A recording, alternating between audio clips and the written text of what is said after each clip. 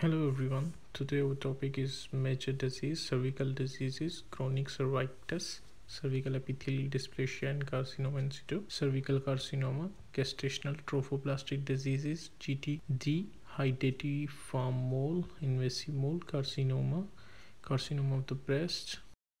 Invasive mole distinguishes between benign and invasive mole. Myometrium in not in benign.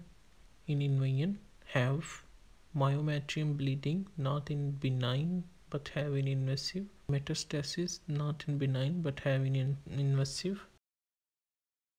Invasive mole morphology grass hydropic villi invade into myometrium. Hemorrhage and necrosis morphology light microscope proliferation of trophoblastic cell villi atypia Invasive mole clinical manifestation uterus irregular enlargement HCG extremely high vaginal bleeding metastasis common side lung.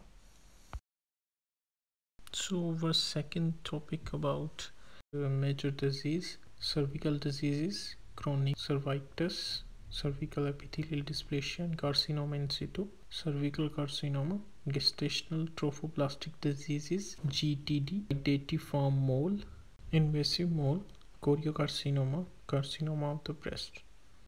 So gestational trophoblastic diseases general features proliferation of trophoblastic cells hcg extremely high ever higher than pregnancy status major classification hydatidiform mole invasive mole choriocarcinoma etiology unclear related to heredity related to pregnancy. Morphology grass translucent cystic grape-like structure within the uterus and no invasion in myometrium classification complete mole and partial mole. So here you can see the complete mole. Two sperms 23 double x or 23 chromosomes xy or egg 23x chromosome sperms no maternal dna duplicate of sperm dna paternal chromosomes only androgenetic mole. Now 23x chromosomes and 23x both eggs are combined together and become the maternal and paternal chromosome. Triplet. Datidiform mole morphology.